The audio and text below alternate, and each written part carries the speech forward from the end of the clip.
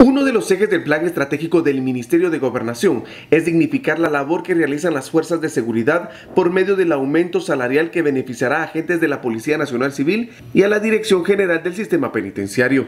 Esto es analizado por una mesa técnica que integran autoridades de esta cartera, informó Enrique Dejejar, titular del Mingo.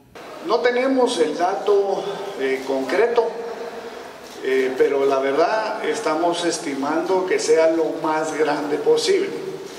Eh, si la matemática sale bien, el análisis jurídico, el análisis presupuestario, pues yo estimaría que estaría entre 1.200 y 1.500 quetzales aproximadamente. ¿Para cuántos agentes, ministro?